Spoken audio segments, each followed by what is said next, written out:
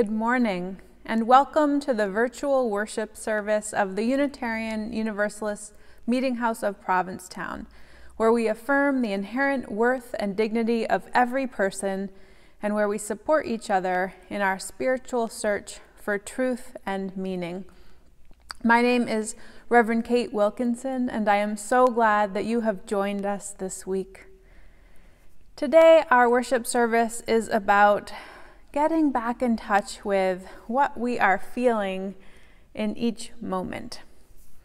Maybe you have some spiritual practices that help you to stay present and grounded. This week is certainly a week when you will need to be drawing on those practices.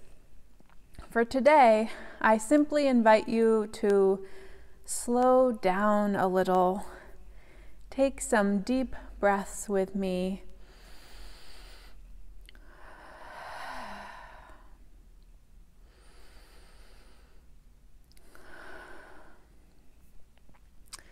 And enter with me into this sacred space, which this morning is created out of many spaces. As I light our chalice here at the meeting house, I invite you to light a candle wherever you are.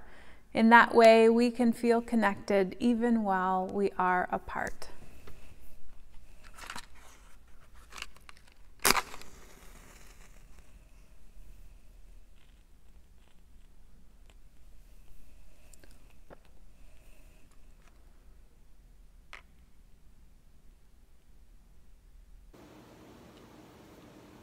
The Persistent Flame by Amy Brooks. Even as the days grow shorter, and our homes shrink smaller, and our wicks burn lower, and our will to endure flickers, we light this chalice to kindle a flame of warmth as a reminder of the connection that draws us into a community that opens us up. In gratitude, for the breath in our lungs and the love in our hearts, for the gift of this day alive.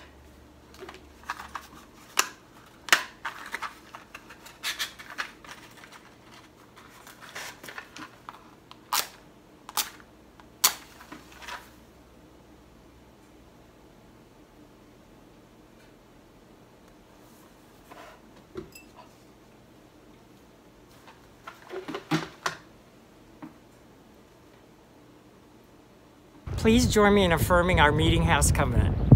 Love is the spirit of this meeting house. It is our great covenant to dwell together in peace, to seek the truth in love, and to help one another.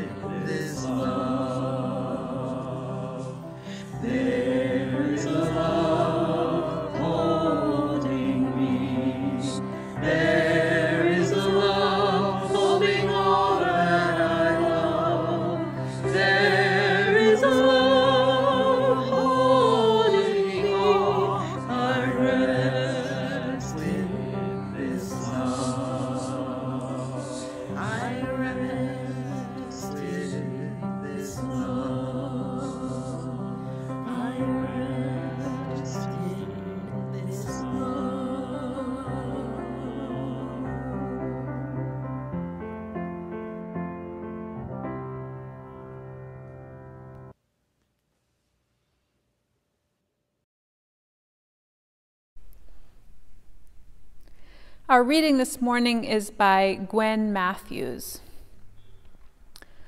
Feel that each breath, every inhale, exhale, we are living, breathing, connected. We are the whole, complete, beautiful selves that we were born to be. Feel that in your bones, in your muscles, in your heart, and your blood. That is the extraordinary you. The you who was born for this time, this place, this moment.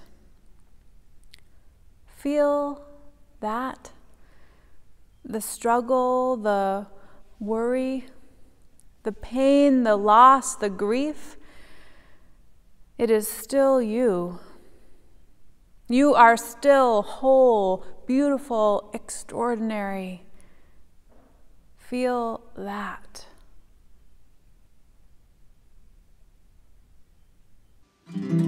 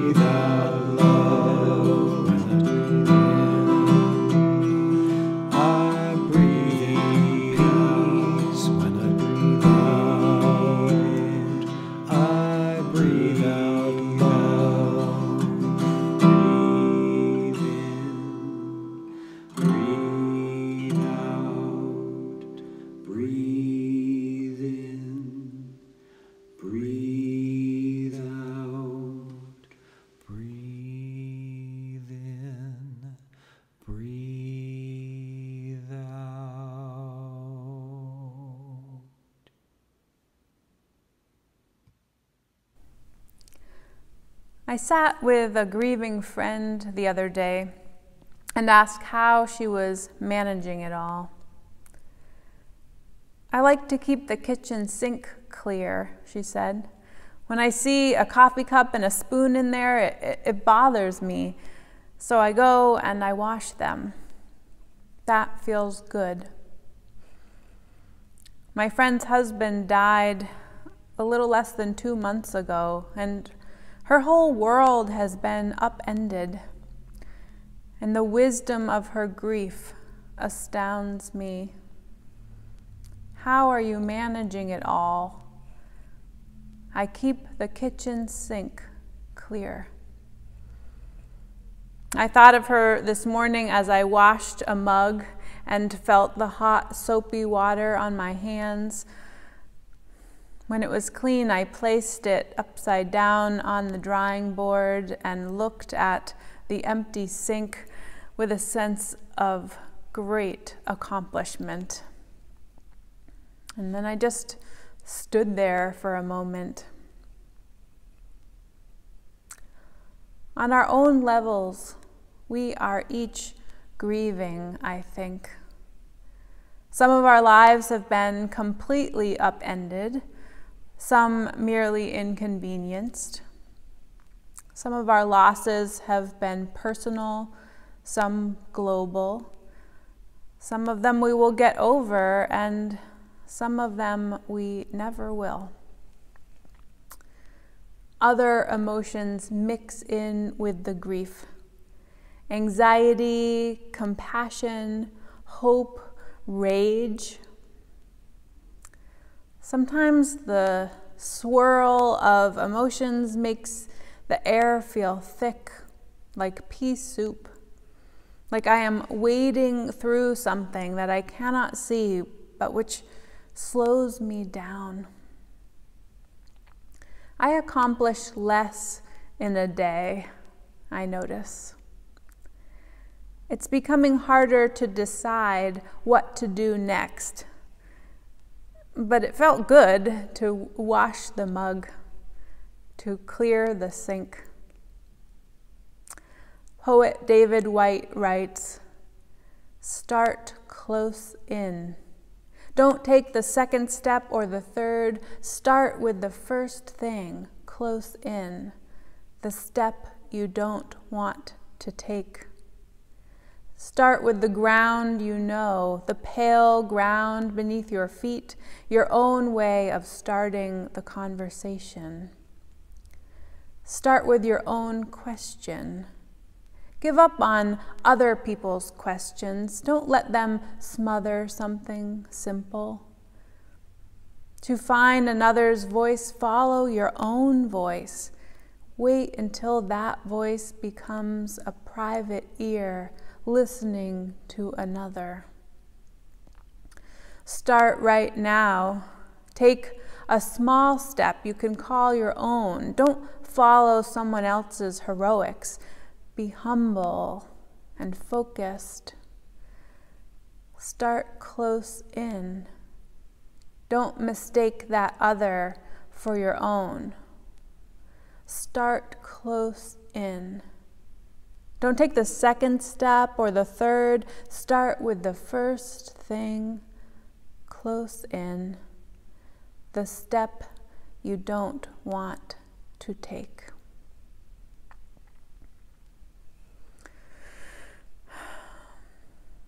Feel that? Gwen Matthews asks. And I'm not sure that we do. Just like with grief that can be stuffed or delayed or swallowed, sometimes our other feelings defy naming. They lump themselves together, unidentified, and take on a new identity as overwhelm or blue or fog or lump in the throat halfway down.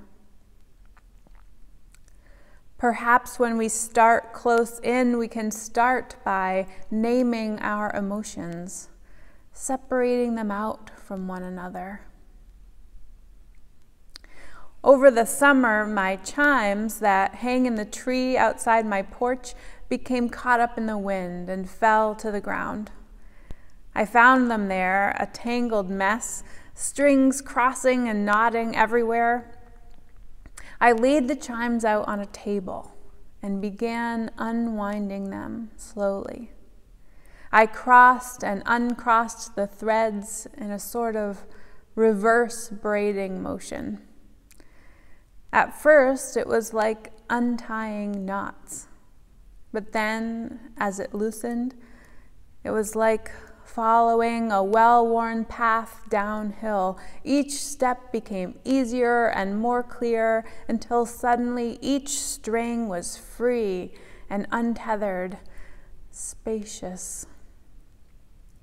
I held up the chimes and heard the familiar sound as the strands and metal pieces gently met each other in conversation.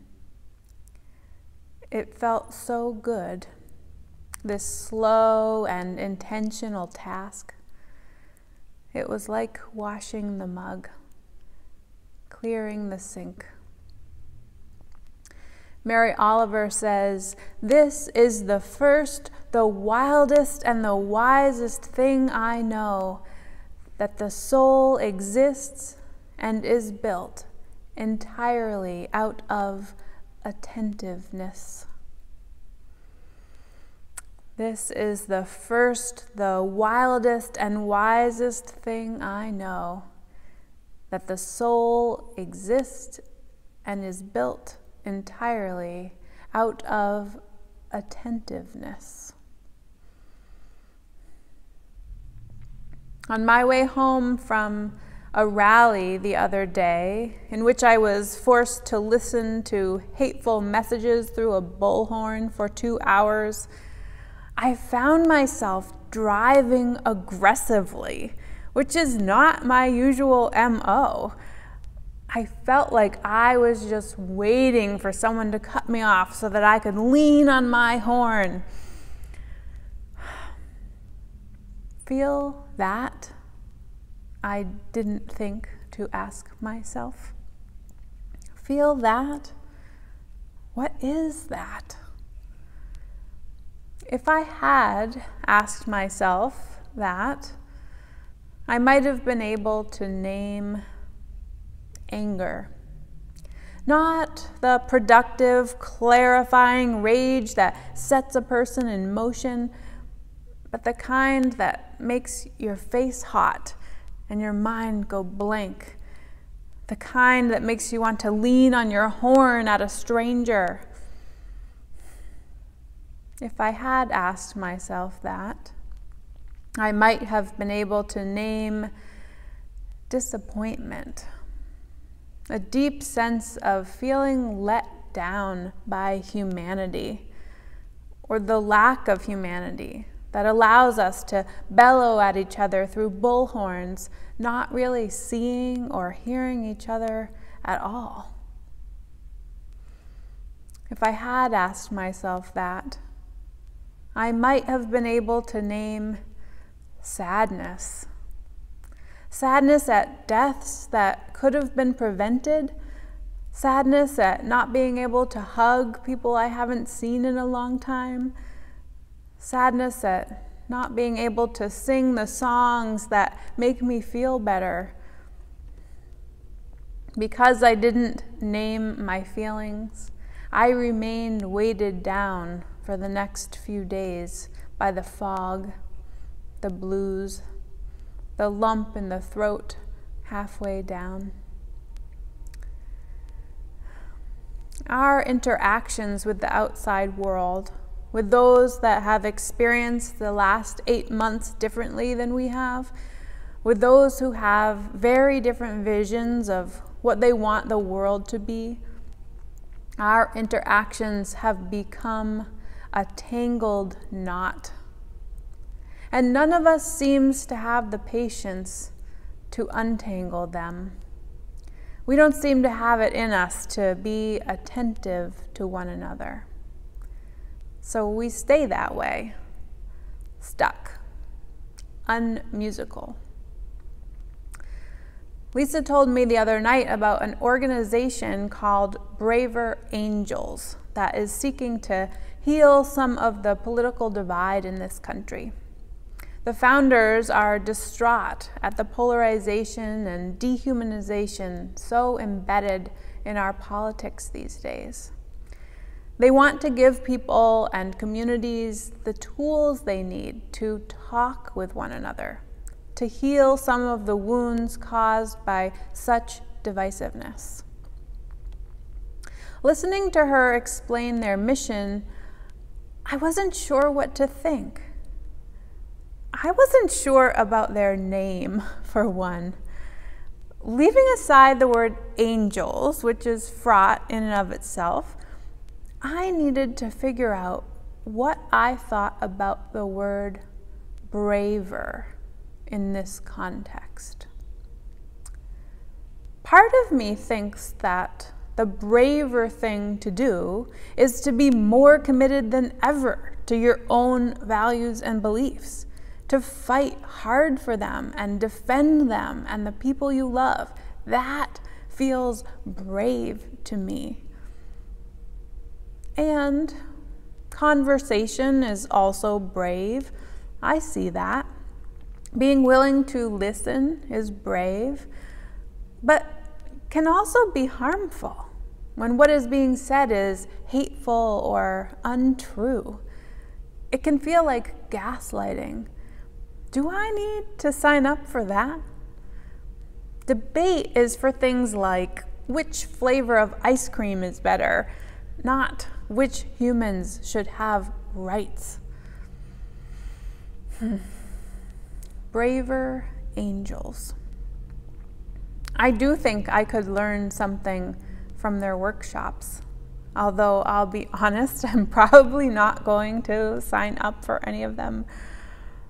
But there's a skill there that I'm wanting. I am wanting to be able to have conversations across difference, across disappointment, across anger, across gray areas, across victories and defeats. I'd like to go back to that space where we can have conversations. Not because I think I can convince anybody that I am right and they are wrong, and not because I think I will change my own mind, but because I want to be able to remember clearly why I believe the things I do, what I am grieving, and why they were so important to me, are so important to me. I want to go back to that space where we can have conversations because I didn't like how it felt in the car when my anger rose to my face, hot and blinding, reactive and inarticulate. I didn't like how it felt for days afterwards, slogging through the thick fog of unnamed feelings. I didn't like not feeling like me.